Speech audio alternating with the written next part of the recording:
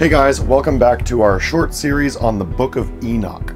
Now, for those of you who don't know what this series is all about, I encourage you to just quickly watch the first video in the series where I do an introduction on the Book of Enoch, the history of the Book of Enoch.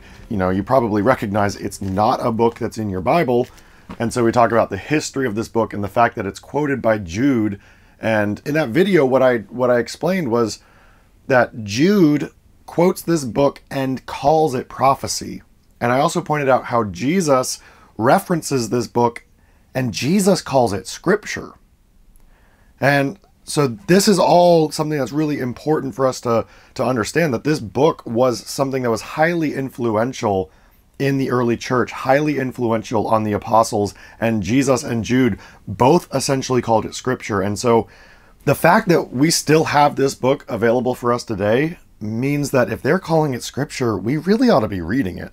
And we shouldn't hold on to our traditions that tell us only these books in the Bible are scripture, because those are man made traditions. Those are man made ideas that we're holding on to, and we're holding it as absolute truth and absolute fact when maybe that concept is not actually biblical. And we're going to come back to that at the end of the series, and we're going to look at what does this mean for the canon of Scripture and and the ideas about what books should be in the Bible and what books should not. But in this video, what I'm going to look at is I'm going to look at how influential the book of Enoch was on the New Testament. Because yes, Jude directly quoted it as a direct quotation, and Jesus referenced it, and both of them called it Scripture. But this was not just something that was quoted by Jude in one place and slightly referenced by Jesus in another. No, the book of Enoch was referenced all throughout the New Testament. It's just that Christians don't know that because they don't know the book of Enoch. I remember growing up in the Protestant church, I was always taught that we decided which book should be in the Bible based off of which books the apostles quoted. That's what everybody always teaches. The apostles quoted these books, so these books were included in the Bible, and they did not quote these other books, so those books were not included. Well, first of all, as we saw in the first video, Jude directly quoted the book of Enoch, directly quoted it, and said it was a quote. So that goes out the window right away. But what I'm going to show in this video, and this is something scholars have already recognized, they teach this, they agree with this, they all recognize that the book of Enoch was highly influential on the New Testament and highly referenced throughout the New Testament. And I'm going to go through the book of Enoch in chronological order through the book of Enoch and just find different references and then compare them to the New Testament so you can see the parallels of what Enoch says versus what the New Testament says. And you can see they the writers of the New Testament clearly were drawing from this book. This is a book. The book of Enoch is again, I'm going to just keep highlighting this. The book of Enoch is definitely historically, archaeologically, it is definitely a book that predates Jesus and the apostles. It was found in the Dead Sea Scrolls. It absolutely predates them. That means if they are saying something that is almost a direct parallel as the book of Enoch, they're drawing from that. The book of Enoch isn't drawing from them, they're drawing from the book of Enoch. And we're going to look at at least a dozen or so places where they did this. And this is far from exhaustive. These are just a few that I have grabbed out as I've prepared this video. Now, I will add that some of these passages are more compelling than others. Some of them are not very compelling in and of themselves, but it's the cumulative effect that I want to show.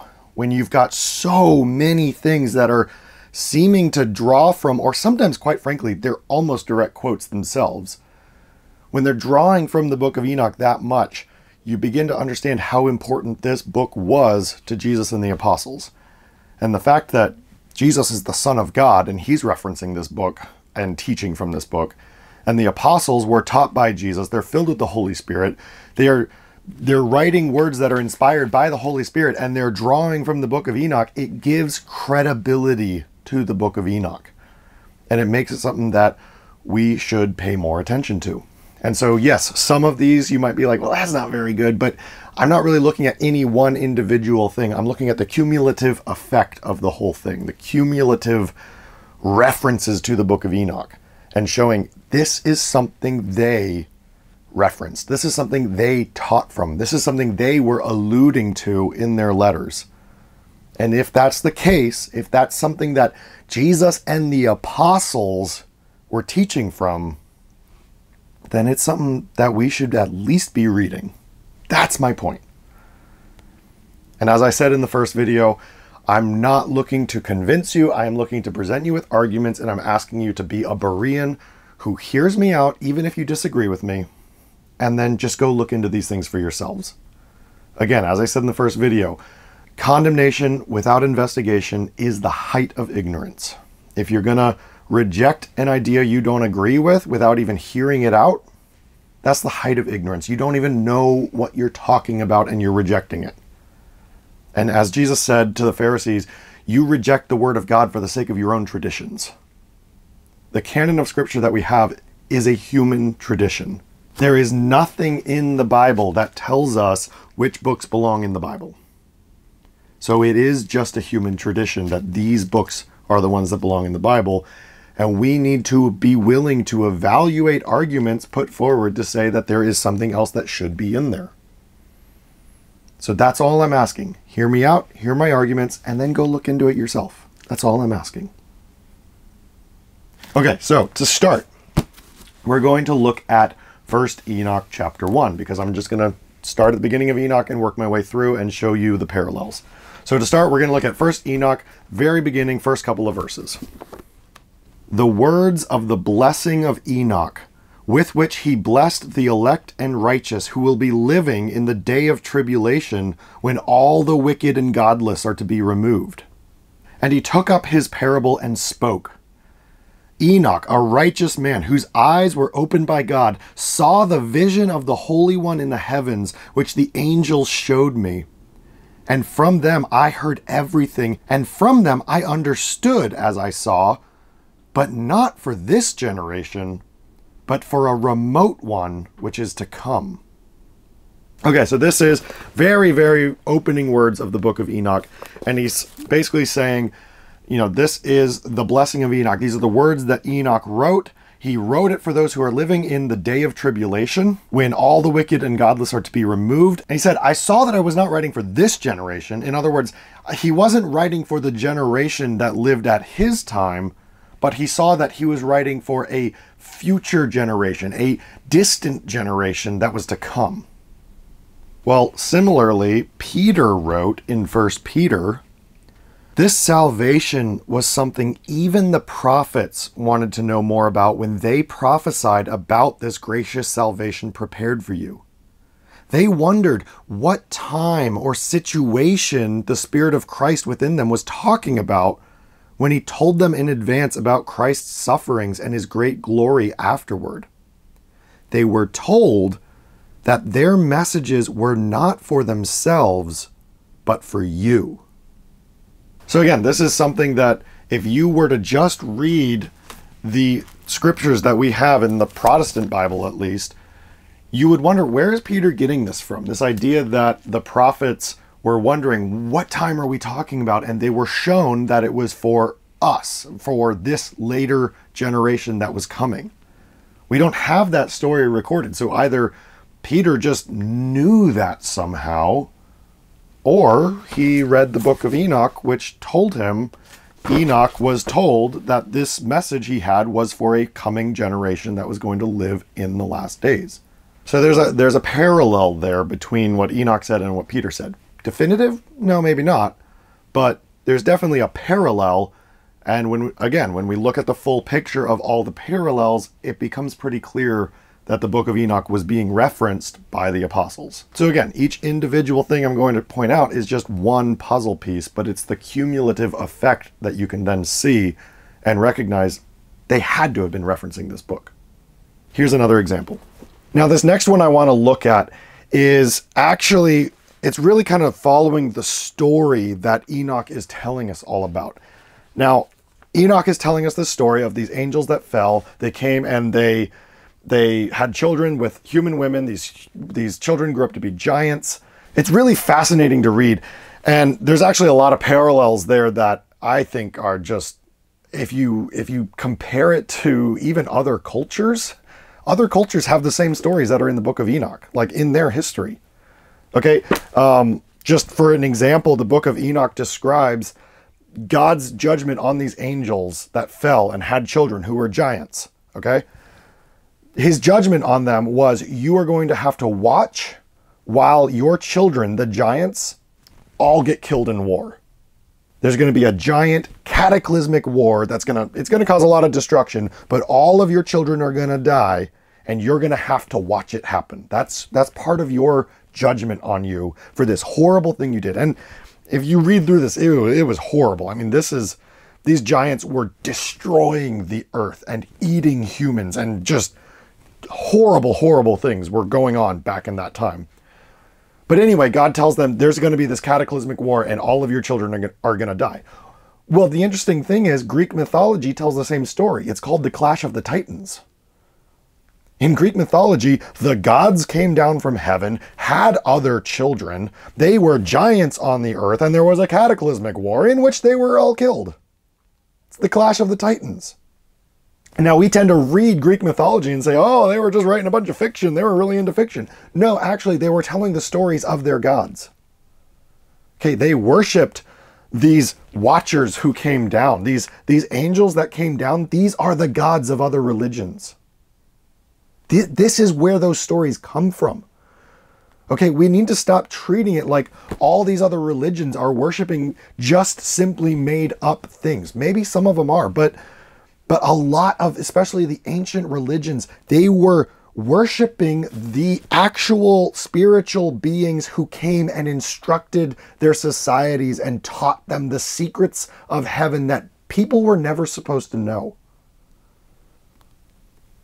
These were historical events that happened, and those other nations began worshiping those beings and, and wanting that knowledge. Again, man fell because of the tree of knowledge. These people wanted the knowledge that these angels were providing rather than the things that God wants us to have. And so it's just fascinating to me to compare the book of Enoch to other cultures and their stories. Now, yes, their cultures and their stories, I'm not saying they're biblical. I'm not saying they're scripture. I'm not saying that they're even 100% accurate. I'm just saying there are a lot of parallels there, kind of like how a lot of other cultures have a flood story. I mean, Historians and archaeologists and scientists of the secular world will all deny that the flood ever happened, and yet every culture has a flood story. This is, again, why I don't really give a whole lot of credence to scholars. Okay, every culture has a flood story, and almost every culture has a story that parallels the book of Enoch. And so that's just one of those interesting things to me. However, I don't have time to read through everything that Enoch says about this story.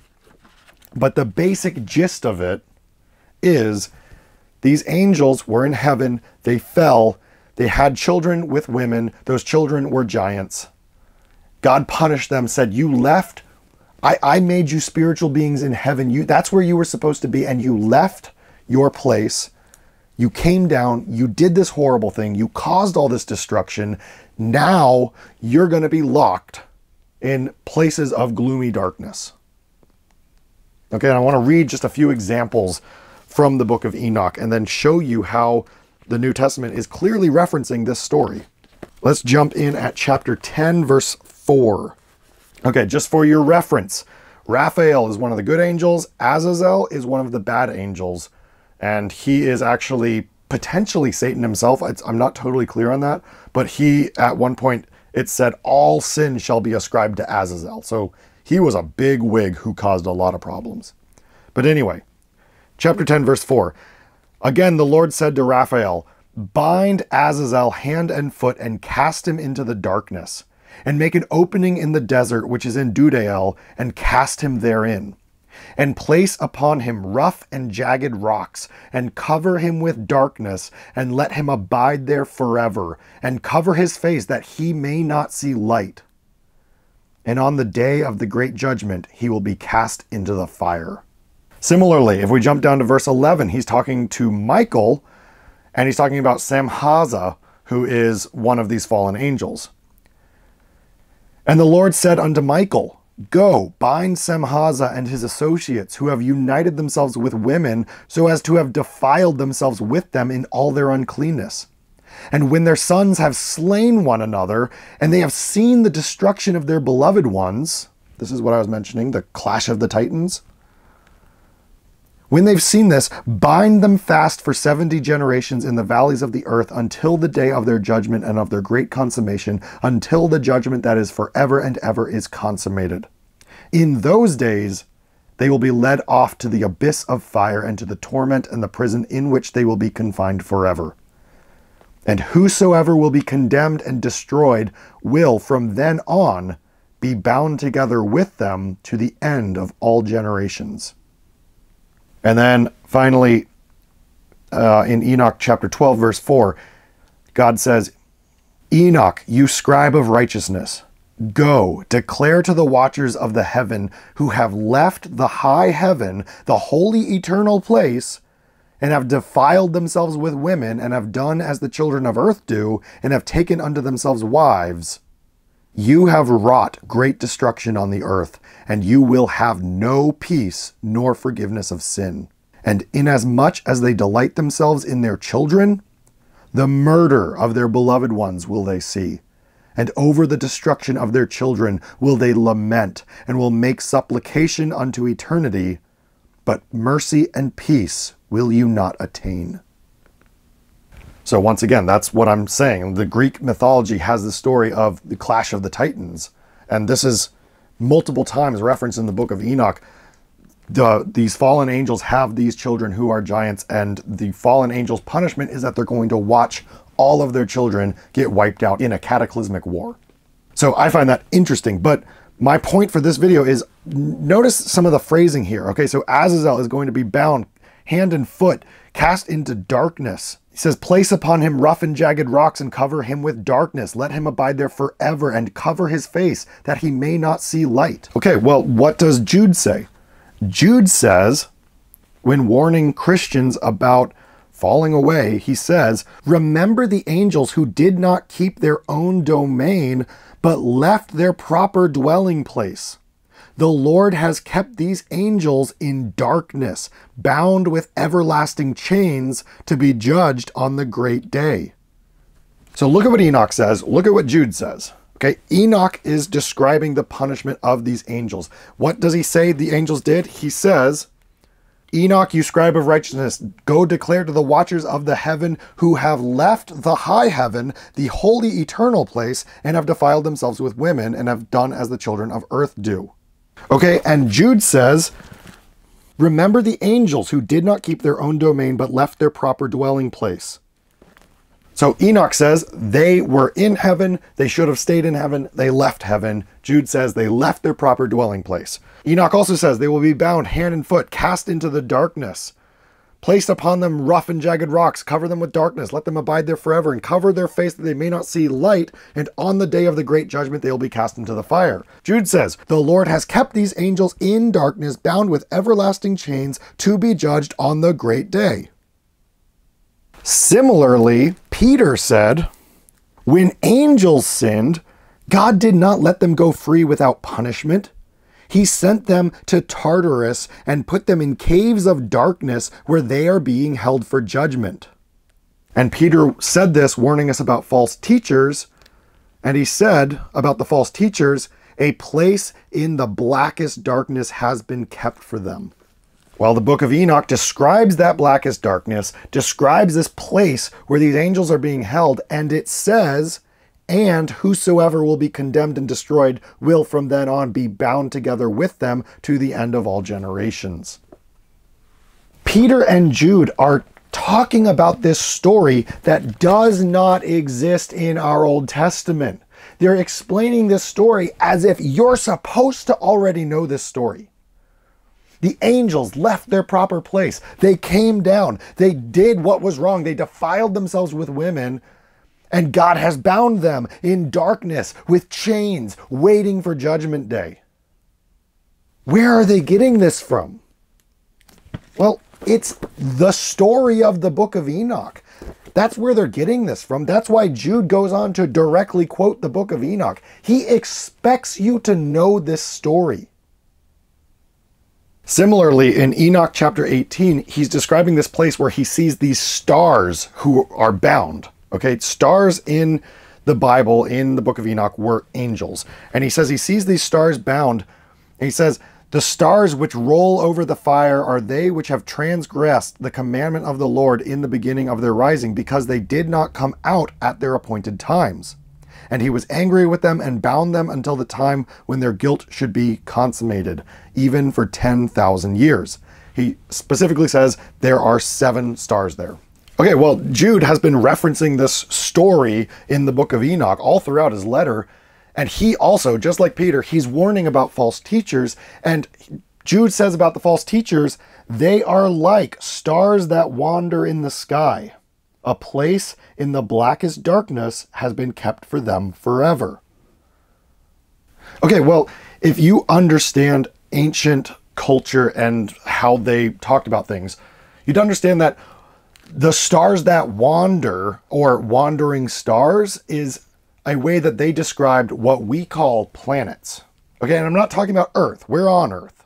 I'm talking about the stars in the sky that you see wandering because they don't follow the same course that all the other stars are following. All the other stars are following a specific course through the sky, but the planets or the wandering stars are the stars that kind of do their own thing. They were called wandering stars. That's what Jude is referring to. And Enoch says there is a place where these stars are going to be bound for 10,000 years because they didn't follow the course through the sky that they were supposed to follow. These were the wandering stars. And he says there are seven of them. Okay, well, let's look at what we call the planets. Okay, we're on Earth. We're not talking about Earth. Mercury, Venus, Mars, Jupiter, Saturn, Uranus, Neptune. So Enoch says there are seven stars that did not follow their proper course. Jude refers to these same things, calling them wandering stars. That's what they called planets back then. What I find really interesting is the fact that Enoch says there's seven of them. Because according to everything we've been taught about science, Uranus and Neptune were not even discovered until fairly recently. But Enoch mentioned seven thousands of years ago. Hmm. Maybe he knew what he was talking about. But my point for right now is just to simply point out the fact that Jude and Peter specifically are talking about this story throughout their letters that they expect us to know about. The angels fell. They came and they joined themselves to women. They had children. They left their proper place. They're now bound in darkness with chains waiting for judgment. The wandering stars are also going to be bound. These are things that Jude and Peter are referencing and teaching from that are not found in our traditional Bibles. But those exact things are in the book of Enoch. It's what the story of the book of Enoch is all about. So Jude and Peter are clearly teaching from the book of Enoch. And Jude directly quotes the book of Enoch just to make sure we have total clarity where he's getting his sources from. So that's really interesting. So now let's look at the next one. In 1st Enoch chapter 9, there are these angels who are in heaven, they're praising God, and in the midst of their praise, this is this goes on for a number of verses. I'm not going to read the whole thing, but in the midst of it they say, "You have made all things and have power over all things, and all things are naked and open in your sight, and you see all things and nothing can hide itself from you.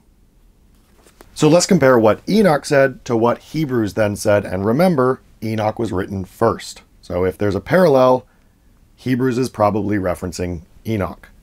Okay. Hebrews says, Nothing in all creation can be hidden from God. Everything is naked and lies open before Him, and to Him we must give an account.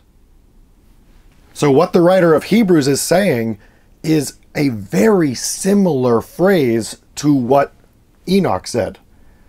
And especially when you take into account the fact that we're working with man's translations. I mean, you could look at different English translations of the book of Hebrews and you're going to get slightly different phrasing. So, the fact that we're working with man's translations compounds the fact that this is probably a direct reference to Enoch. In the original languages, these were probably very similar. And that's it's just worth taking note of. Let's look at the next example. In the next example, to understand the context, Enoch is being shown all these different things, just the secrets of creation, the secrets of the world and heaven and hell and, and all these things. Okay, I'm not going to dive into everything he says, but that's the context. He's just being shown stuff that is referenced then throughout the rest of Scripture, you know, heaven and hell and Sheol and all these different ideas. Enoch is shown these things with his own eyes. That's the context. So Enoch says, and beyond these mountains is a region at the end of the great earth. There the heavens were completed, and I saw a deep abyss with columns of heavenly fire. And among them I saw columns of fire fall, which were beyond measure alike towards the height and towards the depth. And beyond that abyss, I saw a place which had no firmament of the heaven above, and no firmly founded earth beneath it. There was no water upon it, and no birds, but it was a waste and a horrible place. He then goes on to explain that this place he is seeing is a prison for some angels who disobeyed. I'm not going to be able to read the whole thing because it's long, but my point is he sees this deep abyss. And on the other side of the abyss is this wasteland where these angels are imprisoned. Okay, well, let's look at what Jesus said.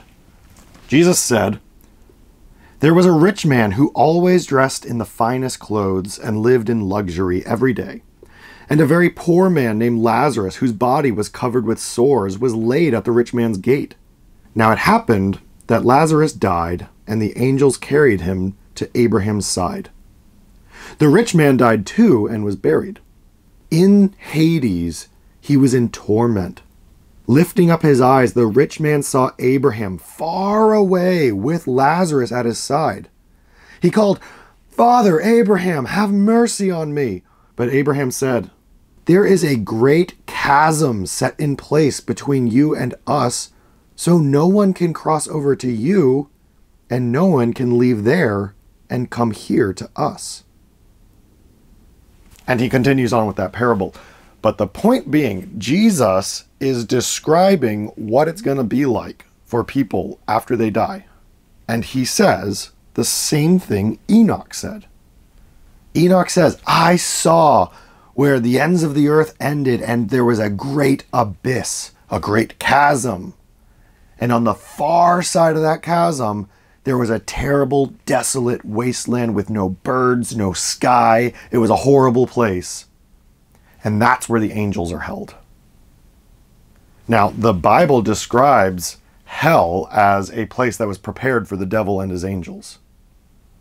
So Enoch is saying there is this place on the other side of a giant abyss, and that's where they are held. And Jesus is saying in his parable that the rich man who ends up in hell is on the other side of a giant abyss. So much so that no one can cross from one side to the other. It's impossible. Jesus' description is the exact same thing as Enoch's description.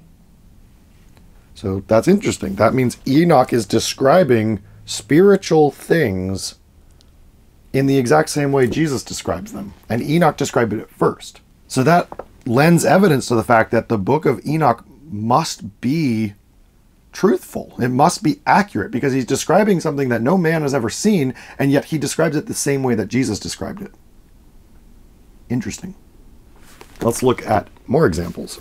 This next example is similar. Enoch describes something that no man has seen, and he describes it the same way the New Testament does. In 1 Enoch chapter 40, he says, starting in verse 1, And after that, I saw thousands of thousands and 10,000 times 10,000. I saw a multitude beyond number and reckoning who stood before the Lord of Spirits. And on the four sides of the Lord of Spirits, I saw four presences, different from those that sleep not. And I learned their names, for the angel that went with me made known to me their names and showed me all the hidden things. And I heard the voices of those four presences as they uttered praises before the Lord of glory. The first voice blesses the Lord of spirits forever and ever. The second voice I heard blessing the elect one and the elect ones who hang upon the Lord of spirits. And the third voice I heard pray and intercede for those who dwell on the earth and supplicate in the name of the Lord of spirits. And I heard the fourth voice fending off the devils and forbidding them to come before the Lord of spirit to accuse them who dwell on the earth. After that, I asked the angel of peace who went with me, who showed me everything that is hidden, Who are these four presences which I have seen, and whose words I have heard and written down? And he said to me, This first one is Michael, the merciful and long suffering. And the second, who is set over all the diseases and all the wounds of the children of men, is Raphael. And the third, who is set over all the powers, is Gabriel. And the fourth, who is set over the repentance unto hope of those who inherit eternal life, is named Phanuel. And these are the four angels of the Lord of Spirits and the four voices I heard in those days. Now, Enoch comes back to these four presences numerous times throughout his story. He keeps coming back to them. But I just want to point out that this is very, very similar to what John saw in the book of Revelation. Now, I'm going to skip through Revelation a bit just for brevity, but starting in chapter 4, John is in heaven, he's seeing the throne of God. And he says, In the center and around the throne were four living creatures, full of eyes in front and in back. The first living creature was like a lion, the second was like an ox, the third had a face like a man, the fourth was a flying eagle. Each of these four living creatures had six wings and was full of eyes inside and out.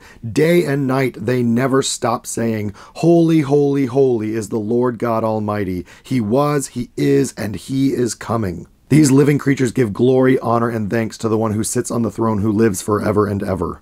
Skipping ahead to chapter 5. Then I saw a lamb standing in the center of the throne and in the middle of the four living creatures and the elders. When he took the scroll, the four living creatures and the 24 elders fell before the Lamb, and they all sang a new song to the Lamb. You are worthy to take the scroll and to open its seals because you were slain. And with your blood, you ransom people for God from every tribe, language, people, and nation. You made them to be a kingdom of priests for our God, and they will reign on the earth. Then I looked and I heard the voices of many angels around the throne and the four living creatures and the elders. There were myriads of myriads and thousands of thousands of angels saying in a loud voice, The Lamb who was slain is worthy to receive power, wealth, wisdom, and strength, honor, glory, and praise. Then I heard all creatures in heaven and on earth and under the earth and in the sea saying, To the one who sits on the throne and to the Lamb be blessing and honor and glory and power forever and ever. The four living creatures said, Amen, and the elders fell down and worshipped. And then in the next chapter, in chapter 6, the Lamb begins to open the scroll, and every time he breaks a seal for the first four seals, one of those four living creatures says, Come, and something happens. Okay, Here's the thing when we look at this passage, we see so many similarities between what Enoch said and what John said. Okay, Enoch started off saying, I saw thousands of thousands and 10,000 times 10,000. I saw a multitude beyond number and reckoning who stood before the Lord of Spirits. And similarly, John said there were myriads of myriads and thousands of thousands of angels standing before the throne, praising God. Enoch says, I saw four presences. John says, I saw four living creatures. Enoch even names them and talks about what their roles are in heaven. Enoch says, I heard the voices of those four presences as they uttered praises before the Lord of glory. The first voice blesses the Lord of spirits forever and ever, and the second voice I heard blessing the elect one and the elect ones who hang upon the Lord of spirits. So Enoch is describing these four living creatures and they are praising God and they are praising the elect one. Now we're going to come back in a future video where we talk about how much Enoch talks about Jesus, and he's referred to in the book of Enoch as the elect one. So Enoch is saying these four creatures, these four presences in heaven are praising God and praising Jesus, praising the elect one, the chosen one, the anointed one, the Christ. That's who they're praising God and the elect one.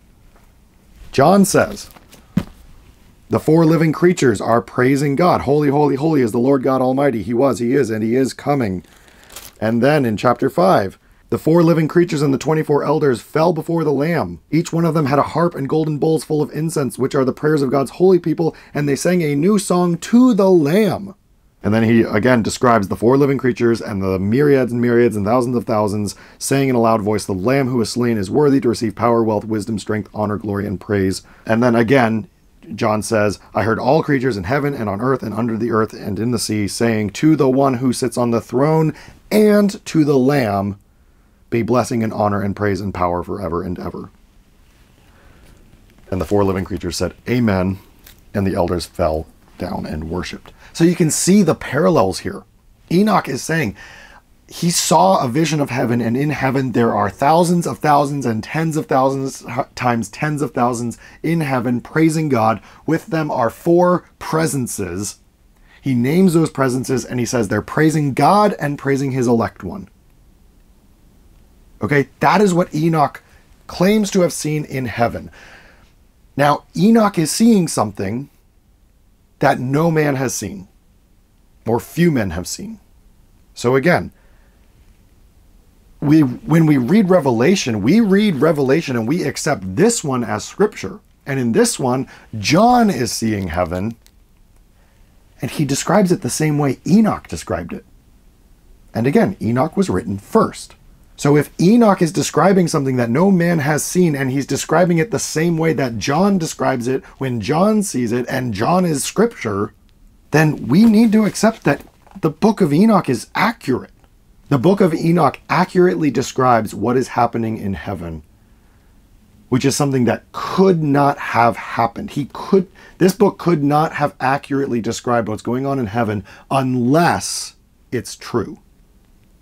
And if it's true, then it's truly prophecy and scripture. Enoch's description of heaven is a perfect parallel to John's description of heaven. That means that when we read the book of Enoch, we're reading the actual words of someone who was given a vision from heaven by God and was told to write it down. That's really important. It's really important to recognize that Enoch is seeing things that no man has seen and it's accurate. These are accurate descriptions. We can't just brush over that. If we accept Revelation to be scripture, which I thoroughly do, then we need to accept Enoch as scripture as well, because Enoch came beforehand and described heaven in the exact same way, which means this book was written by someone who actually saw it. That's the only way that's possible. Let's keep going. In Enoch chapter 51, Enoch is now talking about the coming judgment, okay? And he says, and in those days will the earth also give back that which has been entrusted to it, and Sheol also will give back that which it has received, and hell will give back that which it owes. For in those days the elect one will arise, and he will choose the righteous and holy from among them. For the day has drawn nigh that they should be saved.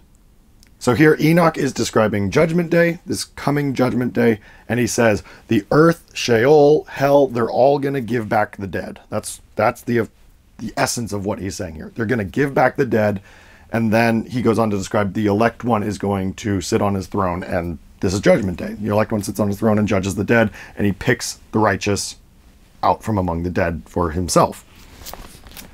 Well, again, in the book of Revelation, in chapter 20, we read John's description of when he sees Judgment Day. And we accept this one as scripture. John says, And I saw the dead, great and small, standing before the throne. Then books were opened, and another book, which is the book of life, was opened. The dead were judged by what they had done, which was written in the books. The sea gave up the dead who were in it, and death and Hades gave up the dead who were in them each person was judged by what he had done. So again, the book of Enoch was written before John wrote Revelation. And the book of Enoch is describing Judgment Day, and it's saying on Judgment Day, all of the dead are going to be given back. Enoch uses the word Sheol. That is simply the Hebrew word for what we have in the Greek New Testament for Hades. It's the same concept. It's the grave, essentially. All the dead are given back on Judgment Day, and the righteous are chosen out from among them, and they are the ones who are saved. That's the description that Enoch gives. That's the description that John gives. We accept John's account as being true scripture in that he actually saw this take place, and yet the guy who wrote about the exact same event before John, and he described it in the exact same way, and it's an event that still has not yet occurred, we don't consider him to be scripture. It's prophesying the future. We say John is accurately describing the future, and yet Enoch is a fraud. But he describes the same thing and he wrote it before John. That doesn't make sense. Now, there's something else in that passage in Revelation where John is describing something that Enoch also described. John said, And I saw the dead, great and small, standing before the throne. Then books were opened, and another book, which is the book of life, was opened. The dead were judged by what they had done, which was written in the books. So John's saying there are these books in heaven, and there's this one book, it's called the Book of Life. And the dead are judged by what is written in the books because everything that they did is written in these books. Well, in the book of Enoch, in chapter 81, Enoch is still he's having all these visions and he's he's in heaven, and he, and in this vision, Enoch is being shown all these things that are going to come. He's being shown like all these future events, and he's handed these books, and this angel tells him in chapter 81. We'll start verse one. This angel hands him these books, and he said unto me, Observe, Enoch, these heavenly tablets, and read what is written thereon, and mark every individual fact. And I observed the heavenly tablets, and read everything which was written thereon, and understood everything, and read the book of all the deeds of mankind, and of all the children of flesh that will be upon the earth to the remotest generations. So, again, we've got Enoch is saying there are these books in heaven that describe everything that every person will ever do. And I saw them. This is back before the flood. I mean, this is a long time ago. Enoch reads these books that describe the, the actions of all mankind all the way to the remotest generation. In other words, the furthest generation away from him, the generation that lives at the very end. These books describe everything that everyone does. And these books are in heaven Enoch read them thousands of years ago. And that's all in the book of Enoch. These books exist in heaven. And he references these books a few times throughout his, his writings where he calls them just the heavenly tablets that he read. These books that describe all the actions of mankind through to the end times. Enoch was allowed to read that. And John, in the book of Revelation, which we accept as this is a true vision John had. This is true scripture. We all accept that this actually happened. He actually saw this. He's not pulling from the book of Enoch. We accept this is scripture. And I affirm that. This is scripture. John saw this. And John says, I saw books. And in these books were written all of the actions of mankind, and the people were judged by what was written in the books. History is pre recorded. Now, I'm not getting into predestination or blah, blah, blah, blah, blah. That's not, it's not something I'm getting into. I'm just saying everything you do, it's been recorded. History has been recorded ahead of time. That's the point. The books describe the actions of mankind, and people are judged based on those actions that are recorded. That's what John says. And Enoch says, I read those books thousands of years ago. The book of life was something Enoch was shown back before the flood, and it recorded all the actions of mankind all the way up to the to the furthest generation, right before the end. It described everything. Everyone's actions are written in these books, and that is what is used on Judgment Day. So again, we have this thing where Enoch, the book of Enoch, is describing what is actually real in heaven that no man has seen other than John.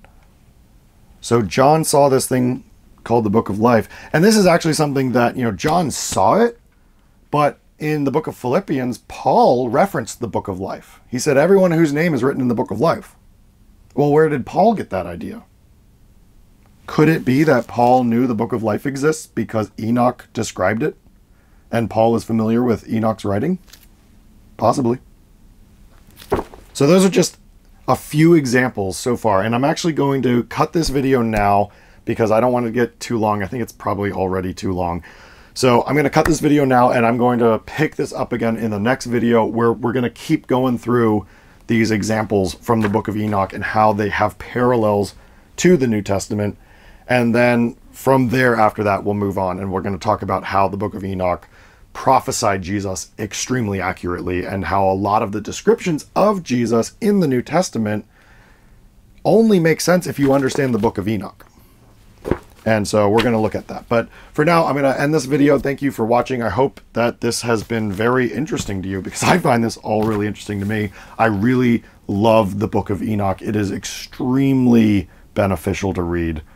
And there are so many things in it that help me understand the New Testament because I start to understand what they were building from. They were using this book as one of their building foundations and they were building on top of it and they were referencing it and they were expecting you to know the reference, which is why they didn't really elaborate a lot of the time. So really useful. Um, I, I hope that you you watch this and you think about it and you don't just take my word for it, but you go look into these things yourselves. So I'm going to pick this up in the next video. We're going to keep going through the New Testament and comparing it to the book of Enoch, but I want to just keep this video short because I know I tend to make really long videos and I probably already have. So all right, I will see you in the next video.